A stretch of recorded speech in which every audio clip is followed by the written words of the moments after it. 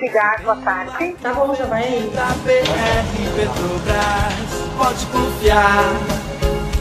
É Liquigás.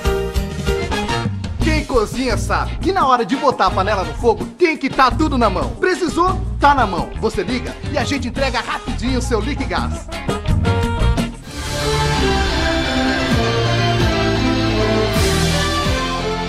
Confira as principais cotações da semana do agronegócio. Arroz para parbolizado abre a semana cotado em 40 reais o saco de 50 quilos. Já o arroz para branco abre a semana em 41 reais o preço do saco.